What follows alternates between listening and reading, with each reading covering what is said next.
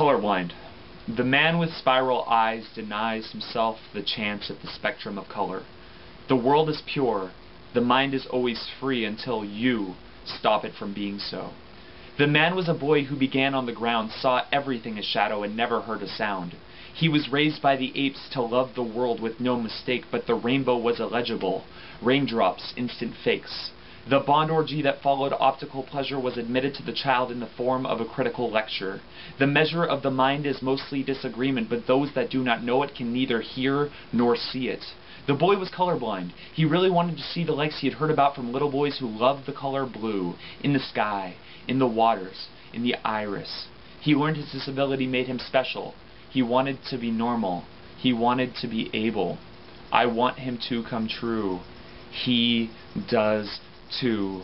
But he can only be free if he can see the rainbow. He resigned when he was told it would have to be a miracle. He locked himself in a cage for the fear of ignorant slavery. He cried himself to sleep with great tears splattering on the sedimentary. It was a long time. Past had passed. He was awakened by the craft that knew of him and flew to him for help, not for attack. They told him of a cure, one that could fix his eyes, because in the sea within the industry, there lies your greatest prize. There lies your greatest prize. Your greatest price, there lies. Your greatest prize, there lies. He weighed his options, he weighed himself, it weighed on his conscience until he waded through, till logic grabbed him at the neck and said, hey man, fuck you.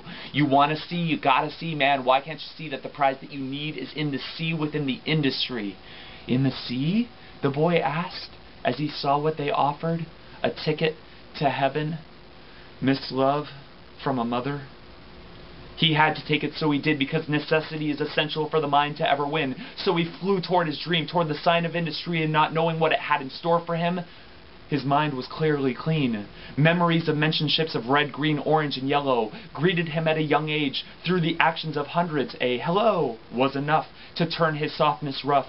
Hardened at his spine and locked up his limbs, and his mind he was broken. The cure, the heal, the love, the meal. He got there and the building shone but just a shape in his misminded stone. The smoke was inhaled like nails through his lungs they impaled him. But the fight was not done. He saw greed as it was, as it is, overexpanded, relied on as a part of religion. I shook my head as I looked down at him within my crystal ball. The boy had grown taller on the journey, a little bit older, a little bit wiser. Confusion had emptied with a hopeful reprisal. I joined him again as an idea and a friend to tell him it wasn't worth it. He is who he is in the end, but Headstrong and stubborn, and will was too tough to break or to shake, he constrained me with mental mind cuffs. Awaken, taken to by the gleam, he made his way through the industry looking to see the color dream.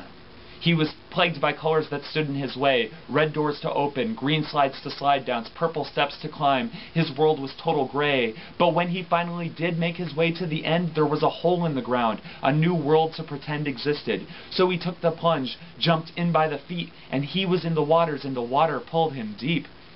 The city of Atlantis, the island that sunk, it was surrounded by the factories and the industry to cover it up. But he was there now. His feet hit the ground. He started to walk around. He saw his cure there, with crystal glass hair, a girl in all colors with a tendency for flair. She motioned him over.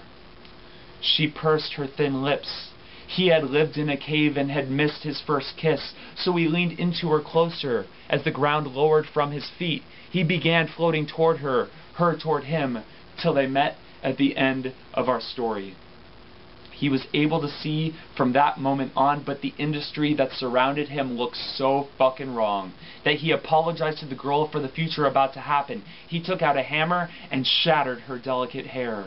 The colors in his mind did all then disappear. He was a man now, a man with dedication to himself, a man without color, a man with nobody else, but not a lonely man because he's the man with the sign that took the ability to see colors and then lost his fucking mind. He broke down for the colors were too vibrant and they blinded his eyes. The headache that shortly followed was the rope that tied him to the ground, and although he loved his lover, he had to cover his bluff. Uh, he was never blind of color, just love. And when he had it, he was tortured, for it was not of his nature, so he gave it back to Atlantis, and made sure that he stayed pure. for the rest of his life and for the rest of the night think, what do I want? And is that alright?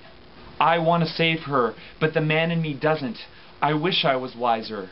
When the world wasn't enough, we made up dreams to coat her, so we could continue to live.